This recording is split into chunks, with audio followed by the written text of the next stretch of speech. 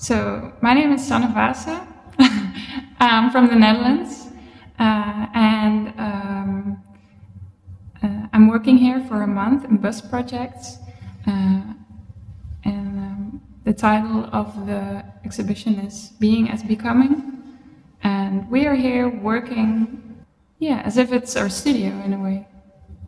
So we're working and people can walk in and see how our process is going. Also gave me a way of thinking about my own process.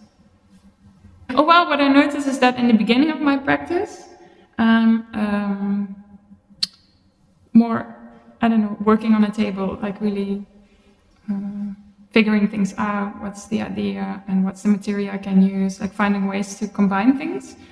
And then there was this one point, and then it became from the making point to the presentation point. So I was shifting everything around and then just creating the space and the objects in the space. And before that, I never thought about that because that's happening really natural in my studio. But being here, I realized, ah, okay, I have this shifting moment from process to presentation in a way.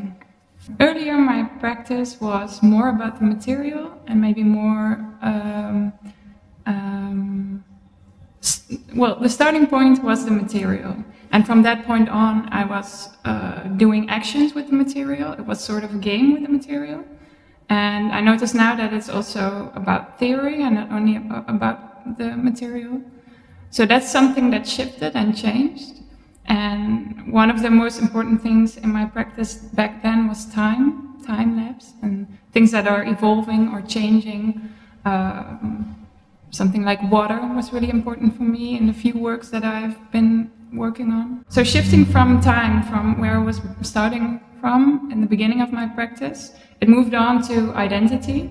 Um, and I think also from that point on to communication, um, to language, to symbolism, um, so that's maybe the main thing, are the main things that I'm working on uh, at the moment. Um, and my work is always, it starts from a concept or an idea, and then I'm uh, playing with material, and then it comes together in a way. And um, yeah, so it's not only video or photo, it's like uh, installation. It can be anything actually. Yeah, so um, I was invited to participate, um, and I didn't know Freek at all.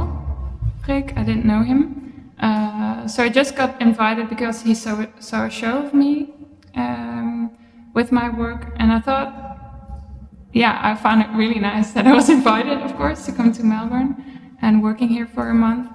It's really a nice opportunity uh, also to dive into um, um, maybe the history of Melbourne, the location, just to be in a different um, environment that I'm normally in.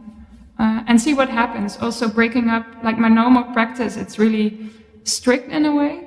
And I try to let that go here. So to play more and maybe go back a little bit more to um, uh, my old practice to break it up a little bit more and to have more interaction um, um, and work more freely in a way.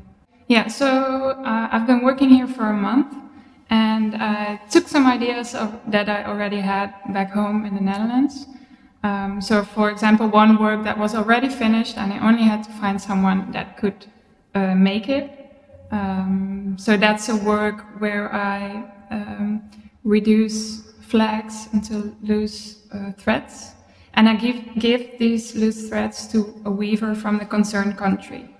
So I did this with the Dutch flag, the Belgian flag, the German flag, and now the Australian flag. I found someone who can weave it. Um, yeah, so a new new piece um, piece of cloth is made out of the loose threads. And by this, I think this big nationality, like the symbol of nationality, becomes um, something that's for an individual that can make a new thing out of it. Um, so that's something that is a work that was already finished and that I just took here and um, yeah, that was actually already finished. But another thing that I've been working on, so this communication and uh, the nonverbal communication is now something that's really important to me. And while speaking it and doing it, for example, the uh, way that we talk with our hands, I, uh, I was working with this idea already. Uh, but for example, also scent, how scent is a big influence on how we communicate and uh, how we interact with each other. Um, yeah, so I took these ideas, and here I think it came together.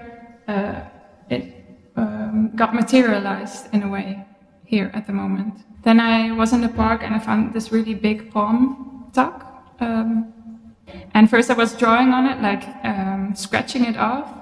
And then uh, I got the idea to burn it in the wood. And I also found it a nice way to put it on the wood because of the, um, the way um, wood or uh, branches were used in history. So if you would come in peace, um, you would give, you would overgive like a piece of wood uh, between tribes, and that you could say we are coming in peace. It was like a um, a way of communicating with each other because the different languages and people didn't understand each other.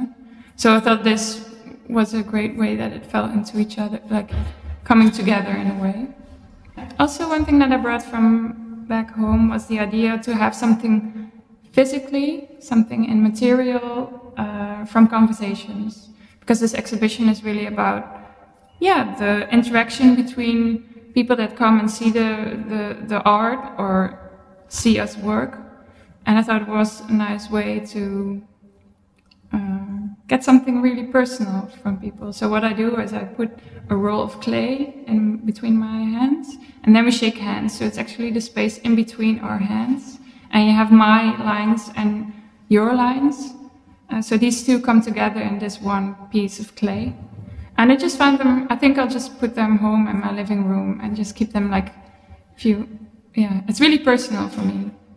Yeah, so we've been working here for uh, a month on this project and uh, we've been working in the gallery. Um, but it was, yeah, for me in the beginning kind of hard because when I'm in my studio, normally I work alone and here people are coming in, people are passing by and uh, starting conversations, and I found that really hard in the beginning. So um, what I try to do is be here, present, working like physically on something, or uh, making something out of the material, and then go back to the park or have a walk and uh, freshen up there and be in my own space, in my own head, in my own mind.